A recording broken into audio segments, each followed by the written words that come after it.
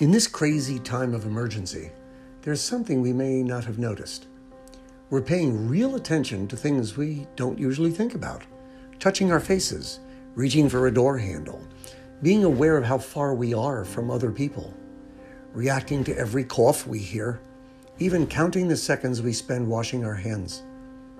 It's good we're paying attention, but too often it's with an emotional energy of fear, anger, survival, or anxiety. But since we're paying attention anyway, let's try it a little differently. Like a child.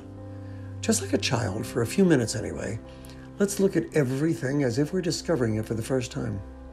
A child does that naturally, with enthusiasm, creativity, and joy.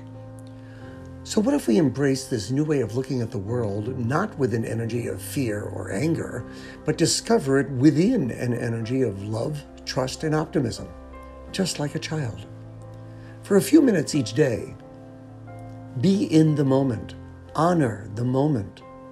There's a Hebrew word for honor, it's kavod.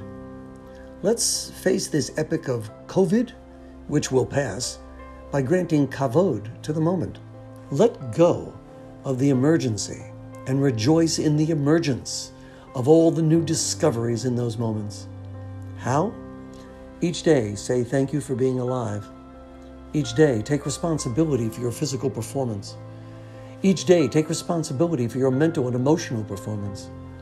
Each day, be careful of human nature, your own and everybody else's.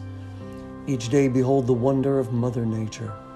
So, like a child, each day, honor the moment.